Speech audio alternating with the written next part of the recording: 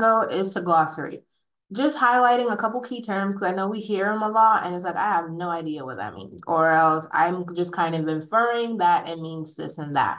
So a hashtag, we've gotten a lot of questions from people on like, what exactly is a hashtag? I kind of think of it of like a way of categorizing your tweet. So, or like your post. So like in the world of X, like how would you label or what topic is your post related to? For example, someone does hashtag dogs, they're basically categorizing that their post is like about dogs. And if someone is searching, what are all the posts that exist in the X world that have to do about dogs, yours will pop up. It may not be the first post that people see, but somewhere in the thousands, because dogs are a popular thing that people post about, your post will appear there as well. So the more hashtags you have in a post, the more the more easily it's going to pop up into people's feeds or the more easier it's going to be to find. The second key one I would say is using the, the, the at sign or making a mention. Whenever you mention someone in your tweet, which is like doing the at sign and doing their handle, you're basically, they're going to get a notification that you're talking about them, but it's a way to get their attention to your post. So I would like to think about it like, if you're like in a large event, yes, you can try sh shouting out someone's name, but like using a megaphone will have like a far better impact or you're more likely to reach the person using the megaphone versus using your regular voice.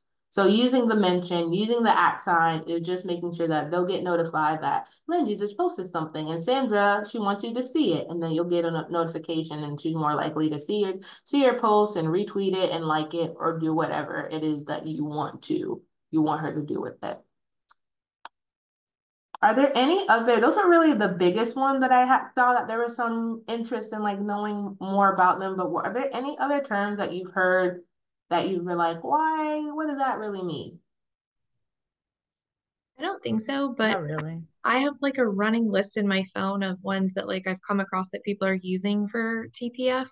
Do we have a TPF glossary that almost shows like all the different initiatives with the different hashtags or like links that we they like us to use so it's common? Hmm, good point. Yes, I know Stacy Sternberg has that, and I can get a copy of that. Because yeah, it's on the TPF website. Like each initiative, like if I go to DA4A, for example, like it's but it's not ideally ideal to click on all of them to find what their hashtag is. Like this is a hashtag for DA4A. But I know Stacy Sternberg does have a one pager, and so I'll get with her to see if she can share that so I can share that resource. That'd be great. Yeah, that'd be awesome because I can just save it to my phone and then copy and paste every time I tweet. So at least it's consistent. Nope. And I, I'm grateful. Lindsay gave me her her list uh, that I saved on my phone, and it's been helpful. So thank you, Lindsay. No, we can do that. That is awesome. And someone was also asking one time, like, why do we retweet or repost? It's just if Lindsay posts something, if Lindsay, if I'm following Lindsay, but Lindsay's not following Sandra and Eileen, if Lindsay posts something amazing, like Eileen and Sandra are not going to see it unless randomly by chance it the algorithms decide to show it on on their feed. But if Lindsay posts something and I'm following Eileen and Sandra, if I retweet it, then it's going to pop up on Eileen and Sandra's post because they're following me and I'm following them. So once again, it's just like amplifying the post so that more people can see it besides just the people you follow. Like a multiplier effect. Now, going into the actual X website, which there's a lot of things being posted about Remake, which I think is very awesome. So just going over the basics, when whenever there are posts being posted that you have not yet seen yet, you're going to get this little column row thing that tells you how many posts have been published since you were last on this website, which for me is 175. If you do not want to see them, then do not click on the show. But if you do, it's going to bring you back up to speed so you can be caught up on all the things you missed within the last 10 minutes. So we know that whenever we're looking at the post, you have the person's name, but then you also have their handle, which doesn't always have to be the same. It can be, but doesn't have to be. And then you'll be told the date that they publish the post, but also if you click on it, it'll give you more detail, such as the exact time. Once again, talking about hashtags, Ashley doesn't have any hashtags, but she does have a lot of different mentions. So all of these different organizations and people are going to get a notification that Ashley Kuhn was talking about them in hopes that they will like what she said and retweet it so that their followers can see what Ashley has to say about Subculture Inc. Learning Days. You can quote or at least, I mean, you can reply something to someone's post. I I mean, there are some posts it's not, really yeah, you can be like, oh my God, that's so amazing. But some posts are more likely to generate replies than others. Like if it's like a question or something thought provoking, but a lot of times people just stick to retweeting, liking. Something that Stacy Sternberg has shared with me now that, you know, Twitter is now X, like analytics has become like, you have to kind of like upgrade to X Pro to get to see like some really in-depth analytics. So now the extent of the analytics that you can see for free is really this. How many views that you got? That's really the extent of the analytics that you can get for free, which I mean, unless you're really like a Stacy Sternberg type person, this is like enough for the average person. If you want to like the details of like the time, what's popular or not, in, unless you really want that level of information, I don't think this is worth paying for to get it. You can also bookmark posts because sometimes there are like some really cool stuff you see on X or like some really an event is coming up or information and you're like I really want to save that for later so I can refer to it. You can actually do bookmarks where you can save it and it'll go into your bookmark category. For example, if I bookmark this post by Ashley and then I go to bookmarks, now she is here. So easily accessible. I know something that I saw on Twitter because I really do like reading. I, I don't know this person, but I just saw 52 books to read in 2023. And I'm like, when I have time, I, I would actually like to see what those books are. And I don't want to lose it in the timeline of things. So I just added it to my bookmark and now it will forever be there for me to look at when I finally have a moment to look at it, which is not today. If you want to see things about like yourself or how you're engaging with X, if you click on your picture, You'll get to see all the posts that you have liked or retweeted or re replied to. Like this is a quick and easy way to see how you're engaging with Twitter. So these are the things that I've reposted. These are the things that I've replied to. Keeping in mind that it's keep it's keeping it's counting you retweeting as a reply, which I find very interesting. If you want to find things that you've liked, and if you want to see the media that you've uploaded into your post, it will be here. So at one point I posted something that had these images in it. So this is kind of like my post image library of stuff. Any questions people may have so far? Hearing none. Home, this is your X feed. Explore, what's going on in, in the X world. You can see it by different topics, trending, news, sports, or you can, this is what I was talking about with the hashtag thing. If you're looking for something specific, oh yeah, let's do solar eclipse because that's what's on people's minds and people are tweeting, tweeting about it. So by using the hashtag solar eclipse, I can see everything that people are posted posting related to this topic. Once again, think of it of like a, a, a folder and a file cabinet.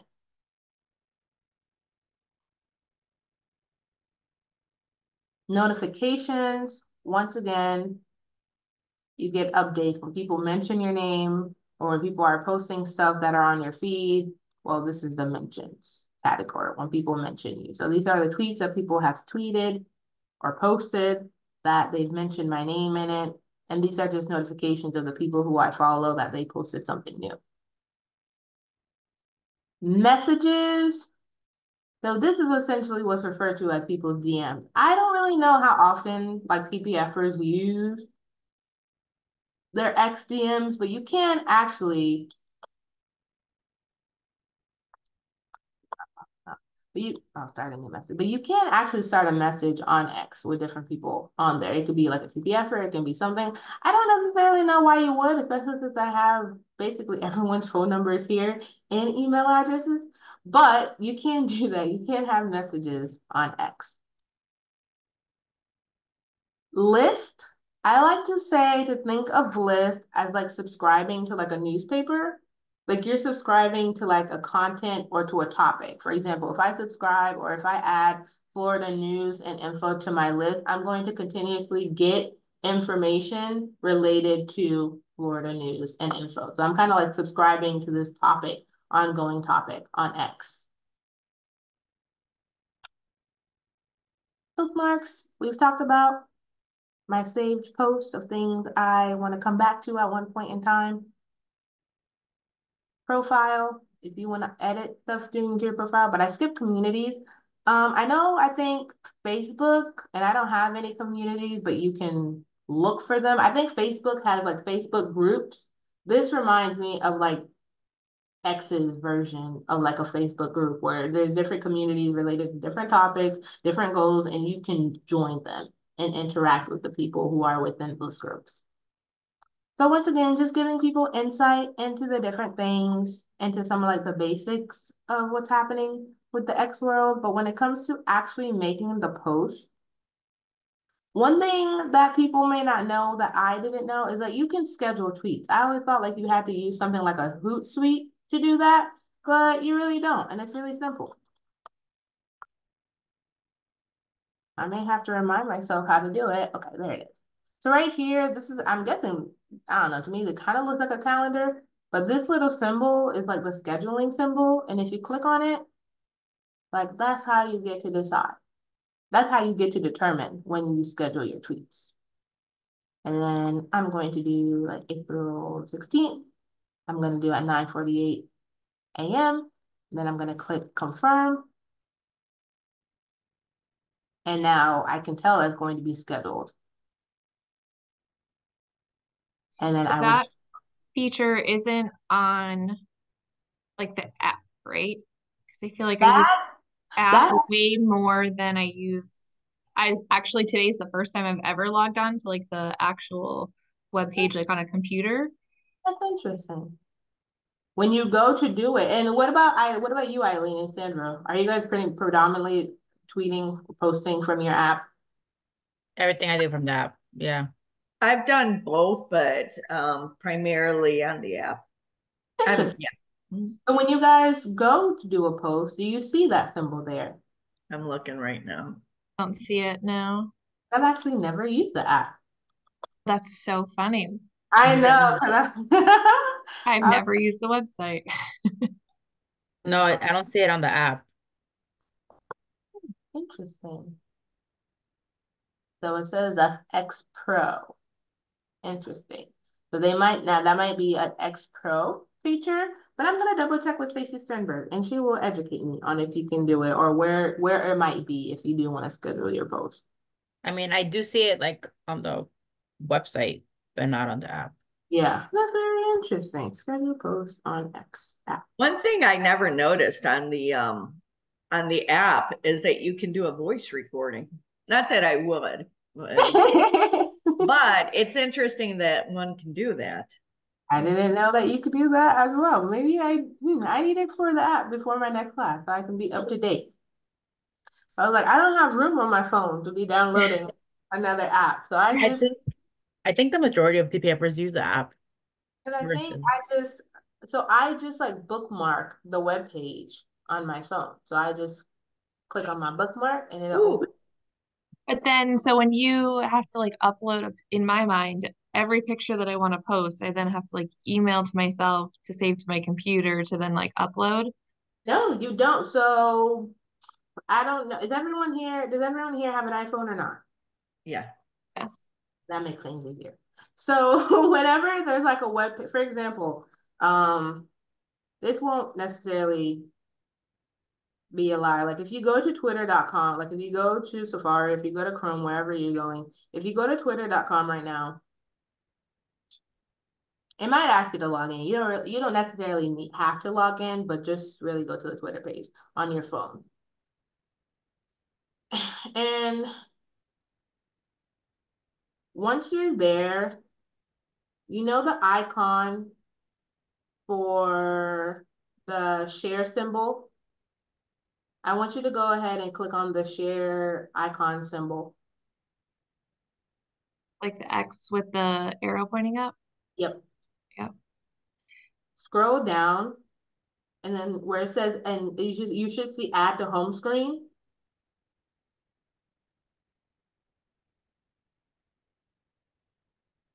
You can rename it, but right now we're just gonna leave it as X and then click on add on the upper right-hand corner.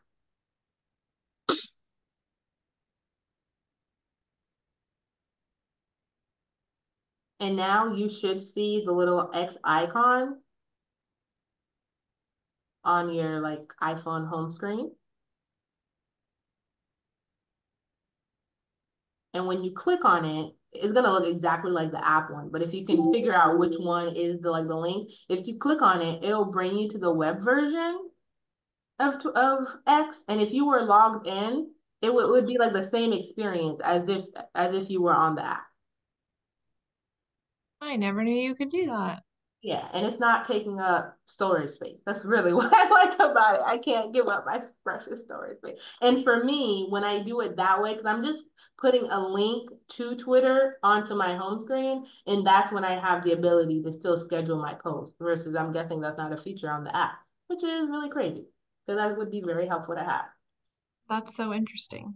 So you can do that for any website, any website that you're really like, yeah, it would be nice to have the app, but I kind of don't want to have the app, you can just add like a direct link from the website to your home screen. So it's like a quick and easy way to access it. Sandra, did that make sense for you as well? No, I, I must have missed a step. Do you okay. mind just going over one more no, time? Of course. So I went to, if you can go to Safari or Chrome, whatever you use, you can go to okay. twitter.com. Right once you're there on like the bottom of your screen, yes, you should see the share symbol, which for me is like a box with like an up arrow.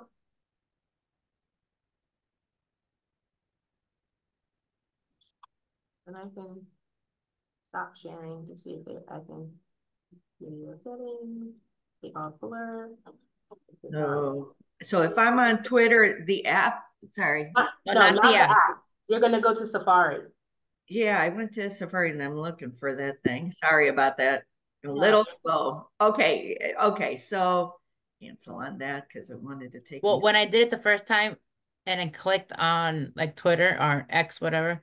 yeah. It sent me to the app directly. So yeah, we do it again and click like on something else. That's okay. why I was like a little. Uh, so twitter.com Mm-hmm. I'm on Safari now instead uh-huh. of Chrome. Okay, and now it says happening now. Join to get, and I'm. It says sign up. So you can just stop there. Later on, you later on, if you did choose to sign in, Lindsay or Eileen, you would have to make sure you add it to your home screen with it with it you already signed in. Now we're just doing to like the home page, but you don't have to sign in every time. So you would delete the old link, sign in, and then add that signed in version to your home screen. But for you, Sandra, for where you're at, this symbol is yes. what you need to look for and click Got on. the share? Yeah, you can click on the share. Yes. And scroll all the way down. Scroll all the way down. Look for add to home screen. Yes. And then we're not, you can rename it, but we're not going to do it for this purpose. We're going to click on add on the upper right hand okay. corner. Perfect. And now the X symbol will appear somewhere within your iPhone. Yeah, I already had. So that's just a symbol versus an app because that's I have the app that has the X symbol and it looks exactly. like it, the app. Exactly. Now, but now when you click the one that you just saved on your phone, it'll take yeah. you to the web browser one. So you could see oh. the web browser version and like schedule posts and things. And she's saying you could oh. do that for any website. Save it yeah. on your more access. There's more access, things that you can access through the web version. Yeah, than- gotcha. and, it does, and it doesn't take any of your phone storage. Oh, That's so cool. at that. Well, you know what else I learned? If you go to the app and you hit like you're going to post something and you go to the purple one that has like it has like a plus sign it almost looks like it's a uh, deep diver um purple uh, right next to the camera if you hit that icon it takes you to this thing that says, uh, let's get you set up and you can get the mic access. Okay. But um, there was a reason I said, oh, to the right of it. So if you get out of that, you just like hit on any other space. It says create your space. What do you want to talk about? And there you can schedule things. Oh. but it's like schedule your space. So I'm not quite sure what that means, but it does give almost you sounds like a, what is an X? Create your space. Yeah. And it says, what do you want to talk about? And then it, you can record or enable video. And there you can actually schedule. So the It- wow. space, the space is for audio conversations. Ugh. So it's kind of almost like, I don't know if anyone here uses WhatsApp, and I know WhatsApp is pretty big on like the audio conversation. It's almost like a space for you to just have audio conversations with people. Oh, okay. That. Yes. Look at that. So I can schedule my time to have an audio conversation. Yes, I think that's very interesting that there's at least not an easy way from what we're to do to schedule posts on the app. That's kind of crazy to me. It might be a pro feature, but I will actually Sternberg about that. But by just adding the link, the quick link to my home screen, if I were signed in, I would have like all the access to X that I have as if I was logged into my computer. And from there, like I could schedule posts exactly like how I showed you when I was sharing my screen. That's very interesting. And now I need to download the X app to investigate further. Mm-hmm. No, you don't. You don't need more to take up storage. Just, just so I can have a frame of reference of what people are seeing, what they're talking about, but then I'll delete it. But yeah, I have a little, I have too many apps on my phone that I already need to delete. Anyway, but that is a quick and helpful tip to just keep in mind. You can do that with any website. It can be baking, it can be food, it can be because everyone wants you to have an app now. And some things, yes, they merit an app, but some things are like, I don't know if you're worth my phone, please. That's so interesting. Learning something new every day. Mm-hmm. And then the last thing that I wanted to share before we go to practice, I now I don't even know this is the feature on the app, but you can also, yeah, this is how you add an image. And going back to what you said, Lindsay, using like the link on your screen, if I click on media, it'll show me like the pictures I have on my phone. So no, you don't even have to go to your email or anything. It's gonna ask you to pick a picture from your gallery. You can do GIFs, GIFs, but you can also do polls. And anyone, thankfully, you don't need to have a pro to do a poll. And Kind you of, do that on the app. yeah, you can, okay, You that's can, yeah. The poll you So can. you can, you can do a poll, but you can't schedule a post. Yep. Interesting mm-hmm. priorities, people. And Priorities.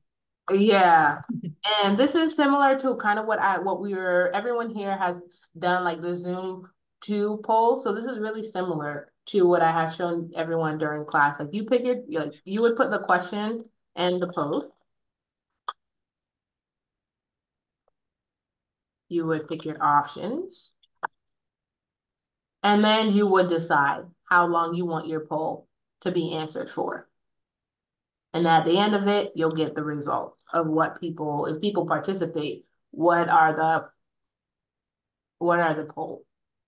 What, what does the poll say people's favorite color are? Once again, not saying you have to use this, but it's just know that it's an engagement tool to incite engagement. Because it's cool if people read your post, like it, retweet it, but now this is a way for them to interact with it. So I think this is good, depending on if it fits, this could be something cool to do for like Remake Learning Day, which is already an interactive festival. So finding ways for people to engage and participate and attend Remake Learning Day events. And know that you can only do a poll. Like if you do a poll, you can't do an image. If you do an image, you can't do a poll because that like the, the poll is taking up where the image would be. And as like a quick, good to know, I am going to, man, can I find the gap flyer? I don't know. But I'm going to download the gap flyer because I want to show people something. This is a gap flyer, which everyone is familiar with, but I want to show you that on the second page, you should see that like this QR code is a live link. So I, I click on it, it'll bring me to the intake form. Versus here, you can only upload images. You can't upload PDFs. So if I turn, the only way I could share this gap flyer is by turning it into a image file, which is not that hard. But once I do, I want to show you what happens. So this will no longer become a link. Whenever you turn a PDF into an image, like the link no longer becomes active. people can still scan it and it'll work, but if it was like something that says click here, like if like there's no way for people to click to go to the link that you want. So you would have to put the link directly in the post itself. That's good to know. Mhm. Yeah. Even the image looks just like weird Yeah, for the does. QR code. it does a little bit. But the QR codes are- are a great way of bypassing that on really any social media platform. Or just if you know you're going to be converting things from like an image to a PDF, it's good to have the QR code because the QR code is a little bit more universal. So Stacy has created it where the where the QR code is a link itself. But if I'm posting on social media, people can't click on the link, they can just scan the QR code and they'll still go where they need to go. So just kind of like a tech tip to keep in mind that links die once they become images. And you would this- need like you need like to buy to bypass it. Sorry, Lindsay, what were you saying? Oh no, that's okay. I was interrupting you. Sorry. Is there a converter like to use over others? Because we used to use them at school, but I just used to find like random ones. But is there a QR code converter that is like your go-to? What do you mean by QR converter? Like, Like to make to make it, yeah. I use I tend to use I have the word monkey in it. QR code monkey.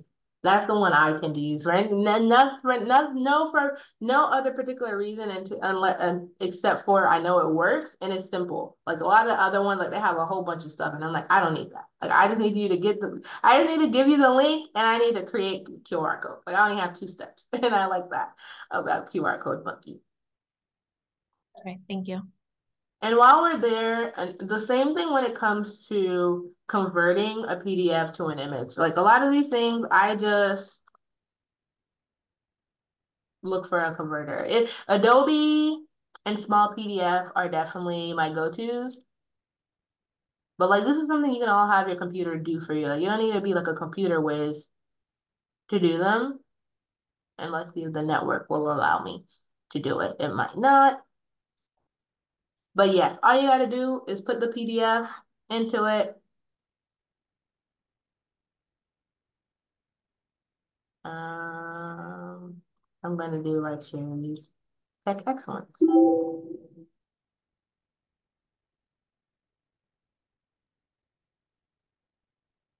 Okay, okay, I'll do Lindsay's. So all I have to do is just put the PDF in, convert it to JPEG, and once it's done with this conversion, now I have an image file. And the same with vice versa. If you want an image to go to a PDF and vice versa. No, sometimes that just like things get lost in translation, or sometimes things can go a little bit wonky. The same thing when you're converting files from one type to another. Sometimes it doesn't always look that nice. So definitely preview your file before you send it off to where it needs to go into the world. What I've done when um, I've wanted to post a flyer or something that I can't, you know, um, that is like a, for example, I posted a poem one time and and I'm like, okay, well, I don't want to copy and paste because it's going to be too many words on Twitter. So what I've done is I've minimized it on my screen and then done the snip and clip or whatever that thing is, a snipping tool. And then I've Mhm. taken a photo of it and then put it in that way. So it's uh, like a little different way of, of Mhm. doing the same. Nope, that's great. No, that's definitely a way to bypass word limits. Just take a, minimize it and take a picture of it, and now you can fit as many words as you'd like. Any questions that people may have at this time? Can we still not edit posts once they're posted? Let me put that. I don't know. I think know- I try every time I make a post. And then- I can't find it. Yeah, so it's still not an option. I But think I remember Stacy when when I did a training with her, she said you couldn't, and so you just have to delete and repost it. Yeah. So then I just copy and paste the the information, so I don't have to rewrite everything. I just had the hope that once Elon Musk purchased it, he was gonna add that feature because supposedly he was going to, but I guess he hasn't. But I think I heard that if you buy the pro, Oh, yeah, I'm not doing that. that sucks. And things continue to evolve as they decide what do they want to make a free feature and what do they want to make a paid feature. But I think it is worthwhile, especially since it's relevant to your homework. I don't want you to feel like you have to do this on the computer. Is I want everyone to go to twitter.com and I actually do want you to sign into your that might be the hardest part of this is remembering your Twitter password if you don't always already remember it. I um, did mine with my Gmail password, so it's like the only reason why I logged in. so you can go ahead and go to twitter.com if you haven't or if you don't if you're not already signed in, signed in. And I just want you to practice doing making that signed in version into your with into your phone.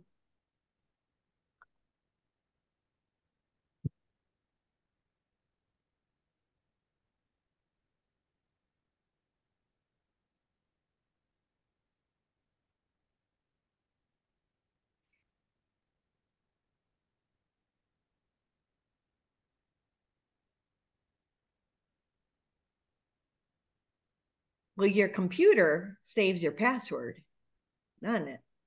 Uh, if you marked it to save, mm-hmm. uh, once you go into the web browser, the schedule thing is in there. Mm-hmm. Like even on your phone.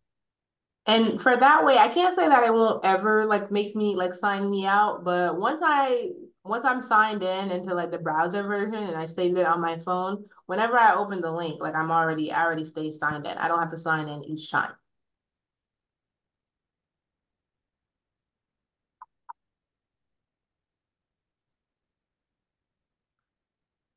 Yes, it's a pro feature. Editing is a pro feature. Editing your posts. Mm -hmm. Gotcha. They get free time.